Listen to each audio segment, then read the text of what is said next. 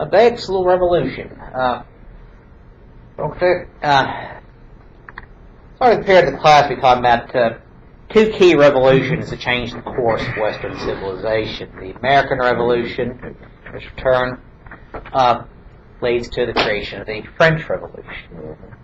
I found all the background of that, all the all the economic uh, background of that. We'll start off with talk about the Columbian Exchange, the Triangular Trades, Stamp Act, Stamp Act Congress, the British Prime Minister Frederick Lord North, the Revolution itself, the Declaration of Independence, key figures from the American Revolution, just one of the hand, one of many, uh, many. George Washington, Thomas Jefferson, Ben Franklin, battles of Lexington and Concord, the Battle of Saratoga, the Battle of Yorktown, Treaty of Paris, 1783. Remember, it's different from the Treaty of Paris, 1763. Last semester's stuff. Huh? This sounds like last semester's class. Yes. The Articles of Confederation, Constitution, and the Bill of Rights. Yeah. Okay, it's the kind of thing about Western civilization. This whole course is America is such a important part of the development of the West, particularly from 18th, 19th century forward. So a lot of American history is going to overlap with Western civilization. And try to put it more in the context of what's happening around the world. Any questions on these? A lot of kind of going through real fast. What's that? Now, uh, you have to understand the basic rule about war diplomacy is all wars are economic in nature. They all have an economic basis at some point. Maybe dressed up in certain ideas, but they're, but they're basically economic. Who has what or who's trying to take what. Yeah.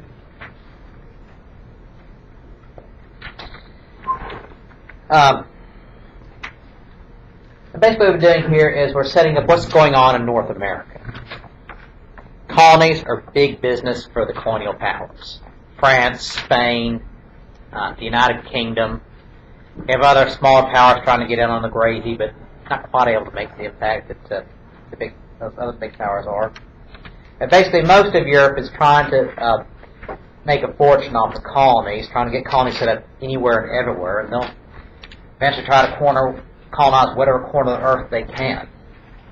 So it's a really big issue, especially from areas like uh, Africa, Asia, and the Pacific in the 19th century. But at this point, the focus is the New World, basically North and South America. A lot of prime real estate, uh, untold wealth of resources, basically just sitting there for whoever's willing to take it, whoever's willing to take it from some people who are already there. Can't wait.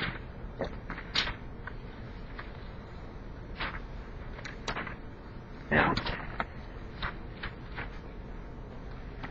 I think the quote by John Adams is appropriate here. He once said, uh, John Adams, one of the co-authors of the Declaration of Independence, the second president of the United States, said, uh, I must study war and diplomacy so that my children may study math and science, so that their children may study art and philosophy.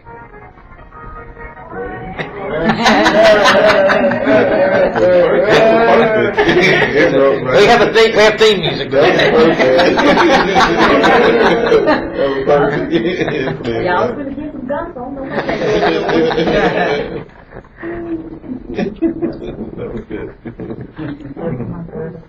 The point is, hard decisions and hard work made by one generation, at least by the Western perspective, always designed to try to make life easier for the next. Work harder so those come after us may have it a little bit easier. Don't have to have the struggles that we have. As though life does throw struggles at us. How do we face those? How do we overcome those? But look at the world way it's set up here. The New World and Old World, how it's set up. The European powers coming in, colonizing the New World rapidly, making an absolute fortune off of the uh, resources there, whether it be agricultural, trade, gold, silver, whatever else. Like I Spain is raking in billions upon billions of dollars off of the billions upon billions of dollars off gold and silver mining. And of course, they're going to spend themselves into bankruptcy by 1700, but uh, they're still making all this money off. And that's the key to any colony, anywhere, any time period of history. The point of a colony is to make money. That's why you're spending all those resources, military, financial, corporate, um, manpower, because you want to make money off it. And these colonies made uh, brought Europe to a standard of living never before seen in history. They're making a killing off this. That's why they're fighting so fiercely off it, because every acre, every hill, every uh, crop, that is money. ton of money, they're going to fight tooth and nail for every bit of it. So like the peasant people, they having a better center of living when they're making all this money as well? A little bit. A little bit, like they're eating more? Yeah, they're eating more, they're more food sources, more job opportunities. And saying for the English colonists especially, the English, lower class English, it's, hey, they're the dregs of society. England wants to get rid of them, so they send them over to the, over to the colonies.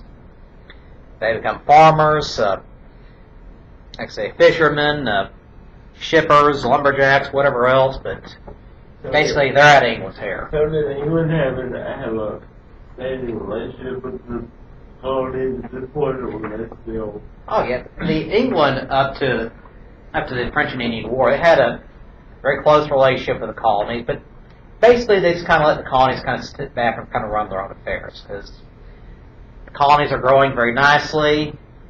Like I said, the money's coming in uh, from uh, the colonies.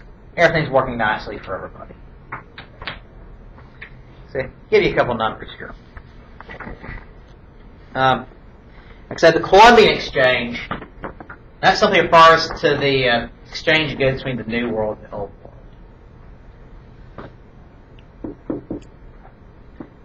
Trade between the hemispheres.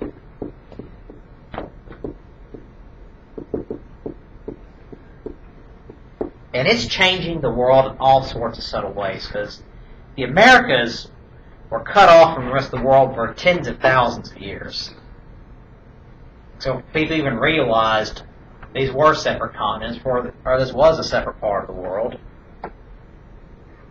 And so all of a sudden, the Americas are here. They're on the world stage. They have all these resources that come along. Initially, mostly agricultural. Example, sweet potatoes. Southern delicacy, but before long, they are staple crops in China. Like I said, core part of their diet. White potatoes, again, native to the Americas. For long, they're the staple main crop in Ireland. Foreign crops being introduced and changing the way people eat and changing the way people live. Um, it's all sorts of other products. Tobacco, that's native to the Americas. Except, uh, some or somehow somebody got the idea if you set this plant on fire and put it in your mouth, it's uh, somehow a pleasant experience. Uh, So they start selling it by the ton in Europe, getting the direct European tradition of chain smoking, and changing the way people live, the way people uh, uh, do business, and all sorts of other products. But also exchange back to, from the New World back to the Old. Horses, not native to the Americas, but transform the way the Plains Indian tribes live. Uh, like I say, and so many other uh, exchange of products back and forth. But, uh, also, there is the biological exchange of diseases. Uh, so smallpox wiped out the Native American populations.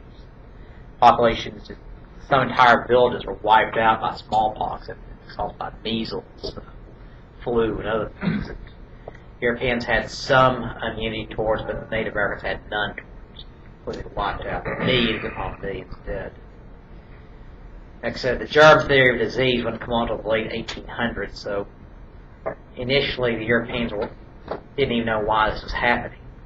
They knew there was some kind of connection between their presence and these appearance of smallpox, but didn't quite understand it. In fact, but, uh, there was an attempt during the French and Indian War. This uh, one British general ordered that these uh, blankets that were being used by smallpox patients in England be given to Native American tribes that were allied with the French try to make them infected with smallpox.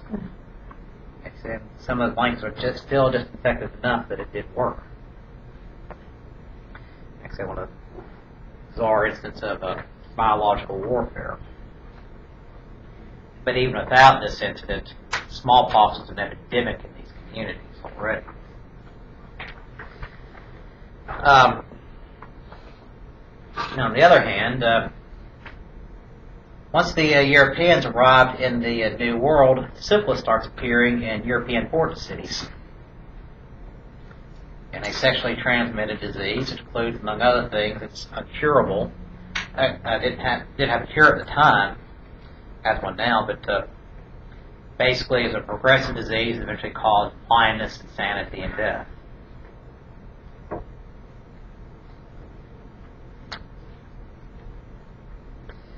But uh, it's because of this, now all of a sudden you have these new agricultural outlets in the new world. All these new products, uh, changing the food supply, changing the amount of the food supply. And also have some of the excess population wandering off into the colonies. Actually, England, Scotland, and Ireland, since it's all ruled by the British Crown, that's a, the immediate biggest beneficiary. A little bit of the French, a little bit of German. But all of a sudden, you have a growing population. Crops and harvests are good. You got this import of crops in from the New World, so more food supply, prices cheap, food prices coming down. People are eat, able to eat a little bit better. So uh, you have a growing population in Europe. 1700, population is 120 million in Europe.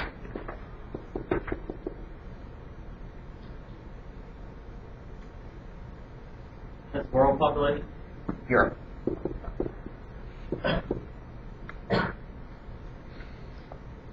Yeah, the uh, total world population is about 700 million at this point, maybe. Don't hold me to that. Uh, 1750, though. European population now is at 140 million. Slow, steady progress. Of having lots of kids. And those kids are surviving because better yeah, better nutrition.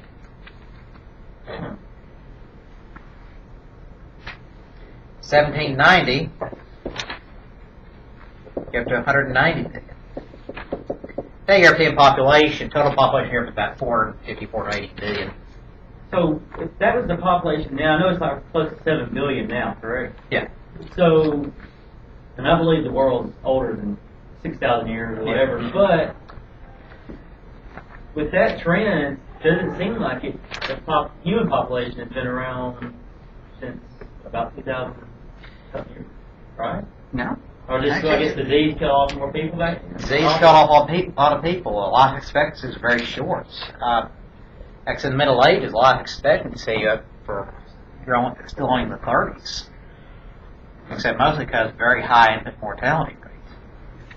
Like I said, a lot of people get sick. Uh, a lot of people die very very easily curable diseases today. Uh, a lot of women dying in childbirth. Just very poor medical techniques, very poor sanitation, killed a lot of people. I say, you have um, people much like ourselves, people in the prime of our lives, very good health, but uh, somebody pees in the water supply and everybody gets sick and dies. Yeah. It's not. It's just that simple. Massive cholera epidemic in the 1830s. Uh, Indian cholera epidemic, called it. Just started from India, spread to Europe, killed more than one million people. Basically caused by contaminated water. People drinking water with either with human waste in it was not treated. Next day, you, uh, next day we live in an age where life expectancy has increased very dramatically, but also birth rates have fallen. People don't need to have as many kids now for economic reasons. Now there's family planning available. Next say, you can plan how many kids you have. But uh, so the population is leveling off in the undeveloped world. Uh, poor countries, population is rising very quickly. But uh, you have to take into account looking at population demographics. You have to look at uh, uh, life expectancy. You have to look at epidemics, war, uh, famine. Next then, the fluidity of the population. People moving back and forth because of epidemics and so forth. Uh, moving back and forth because of famine and so forth. But, uh, yeah, the uh, world population in the 1500s only about 350 million. I'm.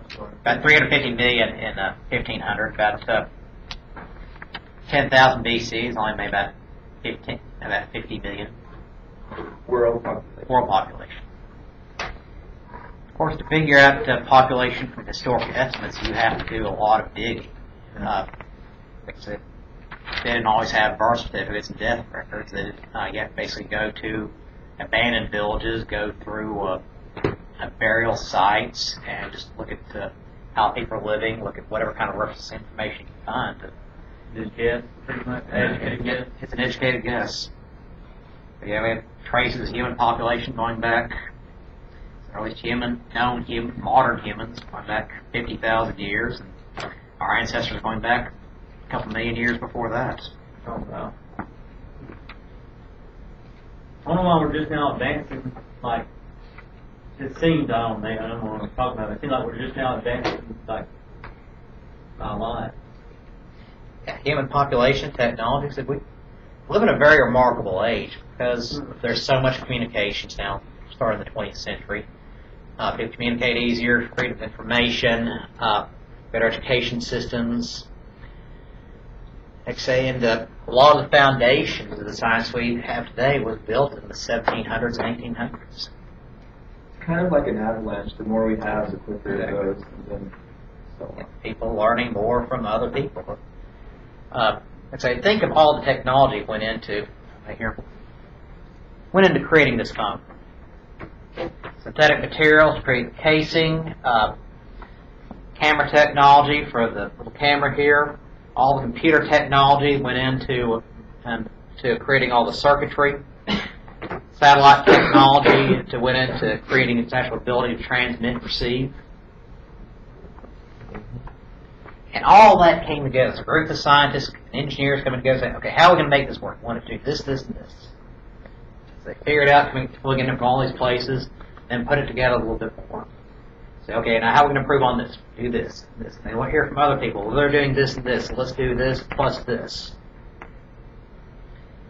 And because you have the internet, because you have the worldwide ability to uh, send books, magazines, articles, uh, ideas, uh, to communicate with other scientists and engineers around the world, it goes faster and faster and faster. The sum of human knowledge is at your fingertips. The internet. Yeah. That's it. More just pictures of cats. And so the course of technology is only going to get faster and faster and faster. I got an answer. What about social liberties? Like, was there ever a time in the world where there was more social liberties than there is now? And do you think that will continue? quick, easy answer, it depends. Like I said, there were some countries that have been freer sometimes than others. Let's say you go to, say, Iran in the 1960s, 1970s, it looked like a very Western country. Very free, to do whatever they wanted to a very reactionary revolution against them. Um, say, because civil liberties are gained in one generation does not mean they cannot be lost in the next. Like I said, women had the right to vote in New Jersey in 1776 if they had property. But they lost that right in the early 1800s and didn't regain it for 100 years. Like I say, so, will social, the uh, arc of social liberties continue upward? Well, that's up to us.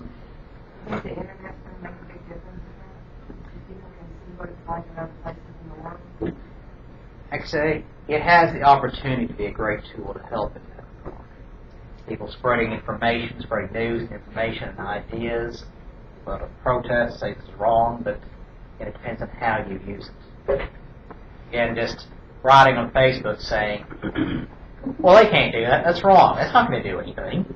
And say, okay, let's meet at this time, organize this political party, or organize this petition, or meet at the Capitol to protest at this time, that could do.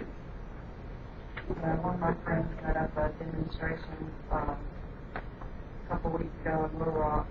It was just gonna be a few of our friends, and then like thousands and thousands of people showed up, and she like organized it all on Facebook. Now, it can be done that way, but of course, She just got like two thousand people.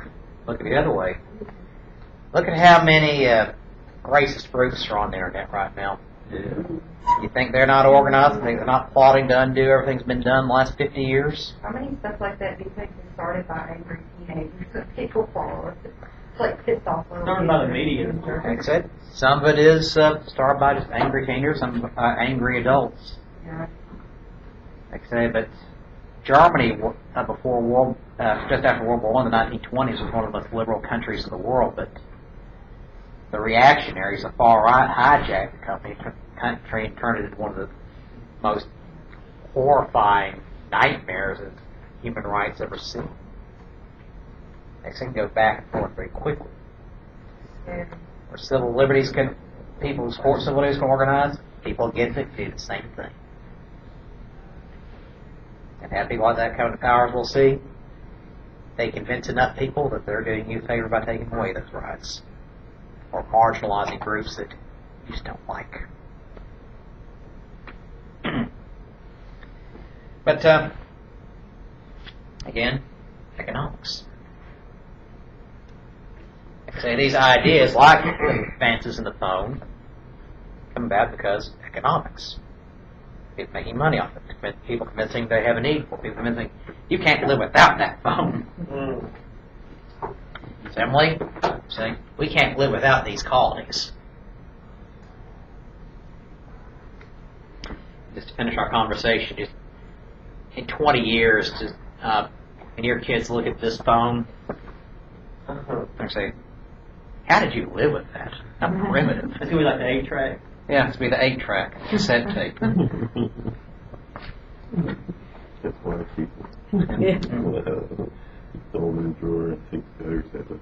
Everybody has So when the kids see them out there, like, A that's four-year-old what wants it's something. a- Yeah. I mean, I Yeah. have one. They're like, really? So you got falling death rates because of increased food supplies, better transportation systems. These countries are putting a lot of money into their navy to try to protect these uh, uh, civilian shippers, protect these ports. But also a system of trade starts developing called the triangular trades. Well, the colonists aren't coming over fast enough. We got some of these more important labor-intensive crops, so he didn't get to do the dirty work for you. Slavery. So look at here, the, uh, I'll pretend this is, uh,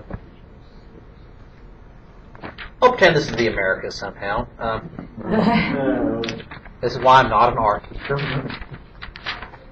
I got Ireland, I got Scotland, England, France.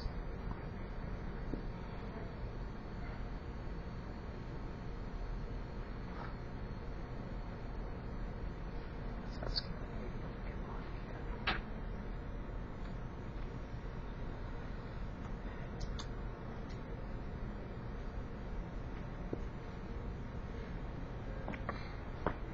Now, of course, Africa and um, South America aren't as close together, have been in many millions of years. But uh,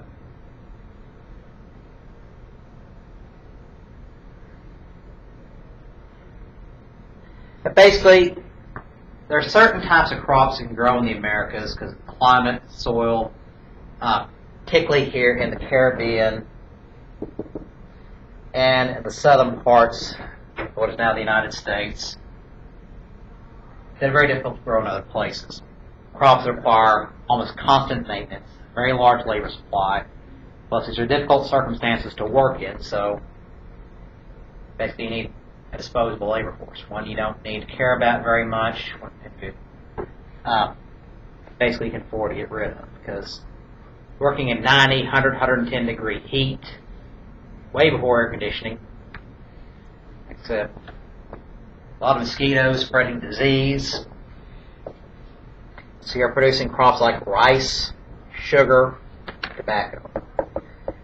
Cotton is important, but comes along later in the 1800s. Grown a little bit here and there, but basically these are the big three at this point. Labor intensive, but Europe is making a ton of money on this. A lot of money to be made from that. So you're getting these crops being shipped here back to Europe, and they need people to grow them. So do slavery. Can't use the Native American population because they're all gone by this point. Yeah. 1600s. Actually, there was an attempt to use uh, the Spanish enslaved a lot of the Native Americans they first came over, but uh, they died very quickly because of uh, smallpox and other epidemics, um, tetanus, measles, everything else.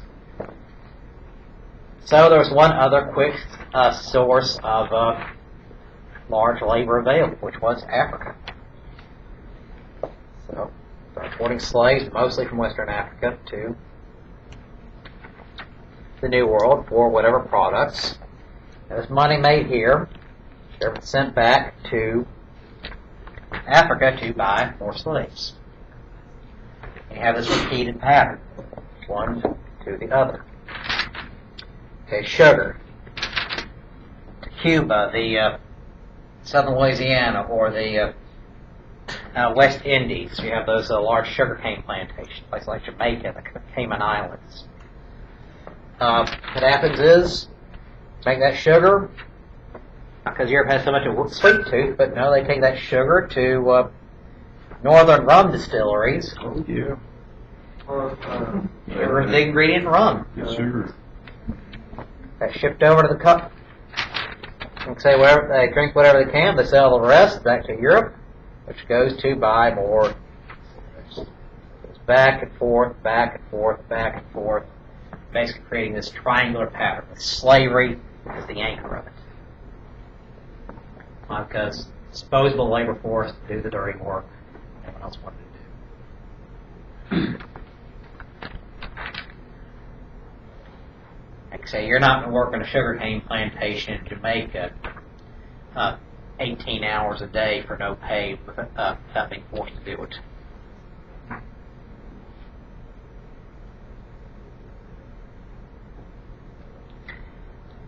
So it wasn't just uh, Britain making a portion off this. It's it's France, it's Spain, it's these other countries, other colonial powers. It's Holland. Everybody's getting a cut out of it. Actually, even a lot of uh, Africans are getting a cut out of it. Basically, they're going deeper into uh, Africa to uh, retrieve, uh, capture enemy tribes to sell to the Europeans as slaves. Millions of slaves coming. To show you what's happening here, between 1716 and 1789, French exports quadrupled. And that is basically because of the raw materials coming from the New World. So you can see just how important trade between the New World and the Old World is just France. British North America.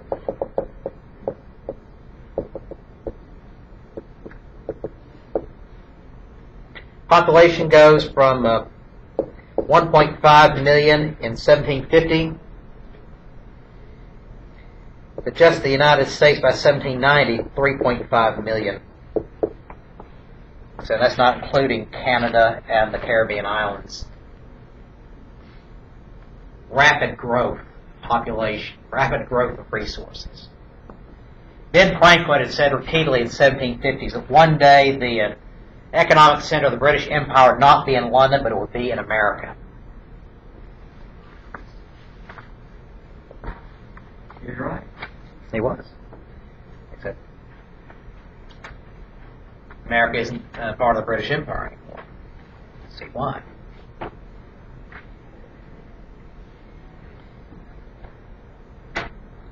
Like I say in the 1700s, it's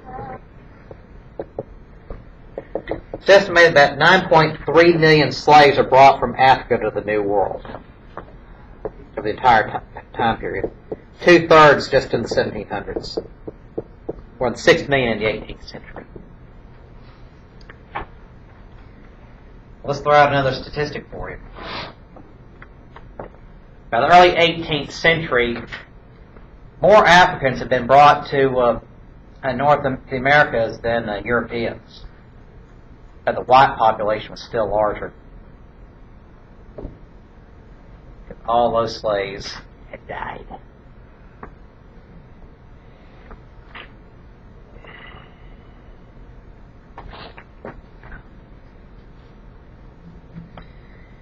Actually, this is creating change in Europe. All this new money coming in, it's changing how people live.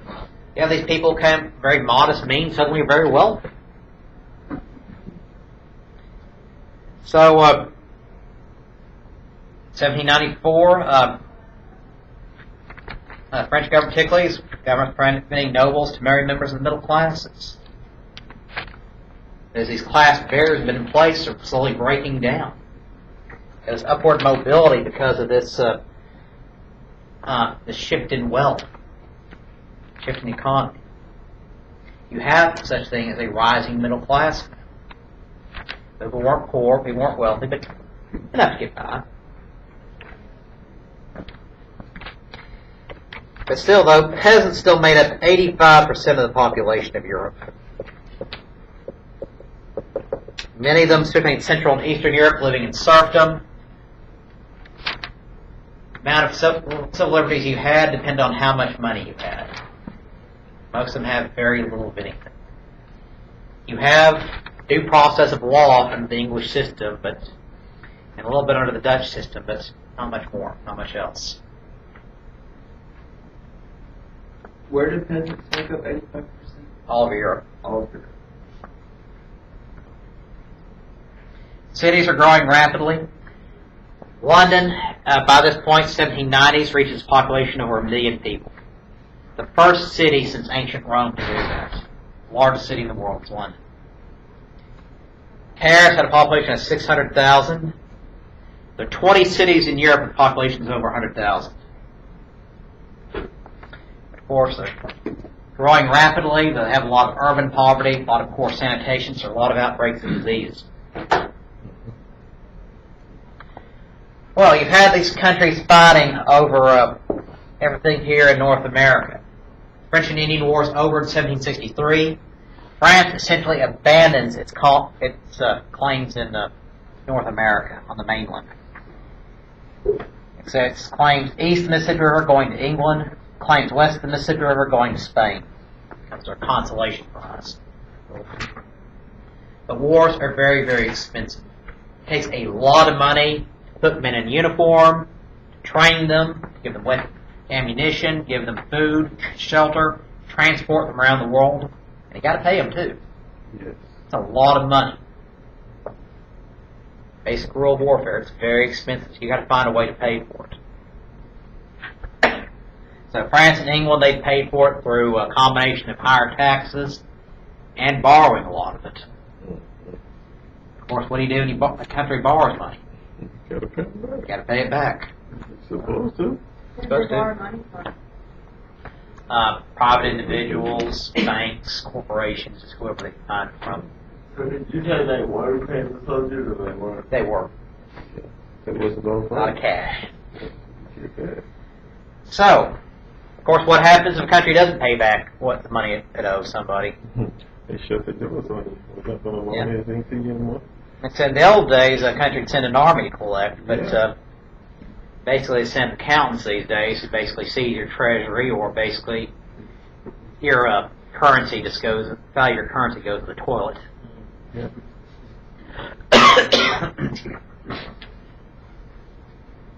so England's got to pay back that money. If it doesn't, basically money it owes to everybody else, the entire economy will crash. Here's the thing: England's won a huge victory in this war. They've won basically the eastern half of North America. Their problems in France, uh, uh, North America, are over, but they spent every dime they had to win that war. They're broke. They have to pay back this money. it's going to be a disaster for them. France, it's in the same position, but it doesn't have any, doesn't have the uh, resources of overseas colonies like it used to. France is going to face its own problems, basically stemming from the French and Indian War and stemming from the American Revolution. So here's what happens. Britain realizes it's got to pay back this money. So they get this Prime Minister, George Grenville. In office for two unpopular years. Proposed among such other things is a cider tax, basically between cider, apple cider, and apple juice. It's cider has a slight fermentation process to it, so alcohol tinge to it. But he put a tax on this cider, which was very unpopular. It briefly pushed him out of office. The king brings him back in. Among other things, Grenville does is uh, he tightens collections of uh, taxes and import duties, as basically import fees that were due from uh, the colonies and elsewhere. Yeah. So uh, what he does is he sends the Navy to patrol the waters, patrol the shores of the Americas, try to catch anybody who may be getting out of port without paying their uh, taxes on imports or import fees. There's a lot of money for England they were losing. They realized there was a lot of smuggling going on. Americans trying to get around the system with a wink and a nod. It might Uh, be easy to do other stuff back then. it was. Uh, like say, if you knew how to work the system back then, you could get away with it. Like say, you can forge papers. You can say you're going somewhere else. You probably just You can just sell them around. Just go around. In fact, it was illegal for uh, the colonies to trade with the French during the French Indian War, because obviously they're at war with them, but the colonies still imported a lot of French molasses for those northern rum distilleries during the French Indian War. They made a lot of money off that. It's probably fun to help fund the war. Oh, yeah. Like I say, what, like I say, what's a little war, thing like a war between friends? You got money to be made here. There's business to be taken care of. So Grenville sends the Navy after the, uh, after the colonists, try to catch all these smugglers going in and out. But here's what happens. Grenville creates something called the Vice Admiralty Court. Basically, it's a board of officers, of naval officers, senior most officers, captains, vice admirals, rear admirals, senior admirals, all the way up here in Halifax, Nova Scotia. As far from the world as possible, far from the usual shipping lanes as possible. And basically, you're being you'll be tried under military law for violations of civilian tax law. Basically, everything you would expect as an English citizen and all your rights in an English court were stripped away to Vice Admiralty Court. Now, the court system, the military system, the civilian system are very different in every country because the military system, you have to remember, their purpose is to try to maintain order in the ranks. Somebody violating orders, they better have a very good reason for doing that. So essentially, you come in there basically guilty until proven innocent. Vice Admiralty courts, you don't have an appeal like you do in the civilian system. You don't have a jury of your peers like you do in the English uh, system. Basically, you're for that board officer, you better convince them what you did was right or this guy's charging you with is wrong. They didn't win a lot of court cases. See, English colonists tried to sue, take the case to British courts, saying that Vice Admiralty courts are a violation of, of law, but they get struck down every time. Also, you have these guys called uh, customs inspectors. Basically, they can run around with these little open-ended search warrants, go anywhere they want, search anywhere, anytime, because they suspect someone's smuggling something to pay taxes. So England started to get its money back because they tied down on collections. What they had to do, though, was basically violate the English Constitution. By the English Constitution, I don't mean there's a written document, basically, body of legal precedents in the English system. The due process that the colonists have come to expect as English citizens. So they're really upset about this. These custom inspectors, they can order ships stopped, order all those guys to unload a ship. They search through everything. Then reload it, they can say, well, unload it again, because we feel like it. So, when you get to the American Revolution, this is why the revolution starts on the coast first. Why it starts in cities like Boston, New York, Philadelphia. Because they're facing the brunt of all these problems. They're having to face the vice of course. They're having to face the customs inspectors. They don't like it. It's, it's disrupting business, disrupting their right, disrupting how they've always done business. It's a violation of everything they've come to expect as English subjects. Customs is still kind of like that. Yeah, they, they, they're, they can be very annoying. I know I've uh, had to deal with uh, like Navy customs and like there's one little thing wrong on the I think manifest called. I'm not sure. Like one little item. All right, you need to take everything out of this Connex, get it, Yeah. you know serial number, whatever they want you to do. Yeah, they want to make sure everything gets through right, to make sure nothing illegal's coming in, or um, sometimes it's because hey, they get paid ten dollars an hour. They uh, they decide they get the power to mess around with people.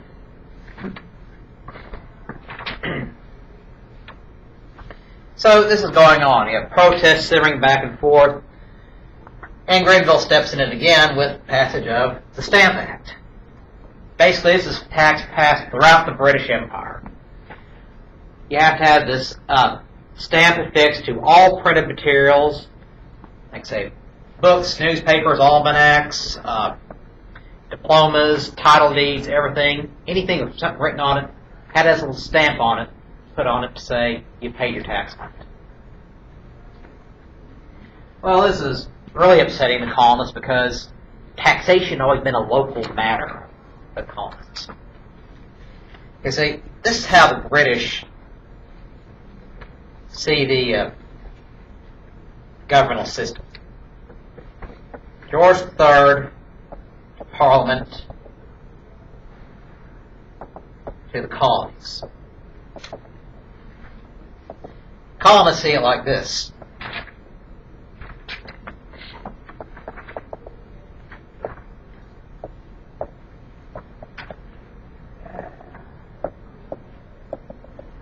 The Parliament were equals. The Parliament simply just regulated uh, trade in between the different colonies. Everything outside the colonies, outside colonial jurisdictions. The Parliament believed it's in charge of the colonies. You've got this essential conflict between the two. Colonists saying you can't pass taxes on us because we don't have representation in Parliament. No taxation without representation. Big slogan, big issue. Basically, of all the uh, people living in the colonies in 1765, not one colonist had a vote for any member of Parliament. There was not one representative in Parliament speaking for the colonies. I say taxation is a local matter. Parliament says no. We can tax anybody anytime we want. If you don't like it, we'll send the army over to collect. They can say that because they've done it before. Like I say, you don't get to be a world power by being nice. Like I said, England's better than others. It's a freer country than others, but still, they play hardball when they have to. So they passed the Stamp Act. Colonists erupted protest, particularly in the coast cities. Boston, Philadelphia, New York especially. Then will get the other colonies behind them to saying, look, they are taxing uh, these uh, uh, taxing on the ports and the stamp uh, acts, but next time it'll be your farms. So they get nine of the thirteen colonies together in something called the Stamp Act Congress. They pass a series of resolutions demanding that Parliament repeal the Stamp Act. Asked the King said uh, for restraint of restraining Parliament and restraint of his government against them and declaring that the colonists, that for the colonists, taxation is a local matter.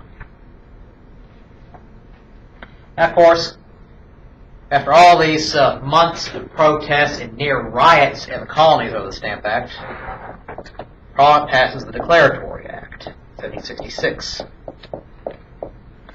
They repeal the Stamp Act, but the Declaratory Act, Parliament turns around and says, now with the new prime minister that got rid of Grenville, said, we're appealing this as a courtesy to the colonies. We have authority to tax you whenever we feel like it. Now, there's some members of parliament felt sympathy for the colonies, so, you know, they have a point, but they have the rest of the British Empire to worry about, not just Rhode Island and Connecticut and South Carolina. They have to worry about Irish rebels. They have to worry about uh, farms in Scotland. They have to worry about the colonies in India. They have to worry about Canadian fishing. They have to worry about uh, what they're going to do about the city of London that's growing so rapidly. Uh, they have to worry about problems of the urban poor in uh, in England. We've got a lot of issues to deal with, not just the colonies. This is not just the colonies. So no one's really paying attention to. it.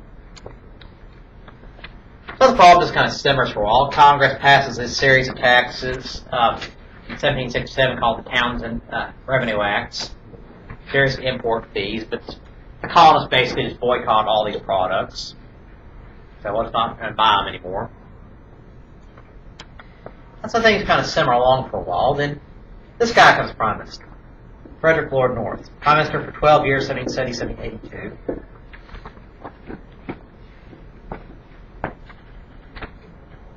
And 1770 have something called the Boston Massacre. Clash between locals in Boston and the Redcoats, basically British soldiers are stationed in Boston, turns deadly. Like I said, the colonists didn't like the fact that troops were there because 1760s, 1770s, your army's only there for one of two reasons defend the country from a foreign invasion or suppress the population. You didn't have riot police at that time period. You sent in the army. You send in uh, armed troops against unarmed uh, rioters, or rioters armed only with two by fours. You know what's going to happen. It's not going to be pretty. So, since this is Boston and New York and places like that, where the French are gone, haven't been taxed by Native Americans in over a century, they have to be there because of option B. Suppress. But Grenville stationed them there because he's trying not to mobilize the doesn't want all these guys are unemployed. But still, he's not paying the average British. The British aren't paying their average enlisted men enough to make pay the bills, so they have to take a second job at night, which in Boston, New York, Philadelphia, Charleston, South Carolina, cities like that. It's the only job you got. Working the docks, loading the ships, which means you're competing with the locals. So you have that added tension going in there. So this erupts into the Boston Massacre, basically this fight that in uh, between the two sides. The redcoats end up firing into the crowd, killing five colonists, horrifying the world, especially Lord North. Well, eventually settles down.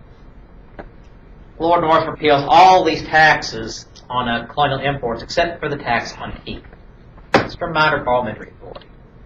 But of course, the colonists kept their boycott up against that because now they're not going to buy anything with this tax on it. Plus, the colonies, tea isn't a popular drink anyway. It's not something the colonists really got into. So, Fast forward 1773, the Tea Act. The British East India Company is about to go belly up. Huge import-export operation. And so what they do, uh, they need basically to be bailed out.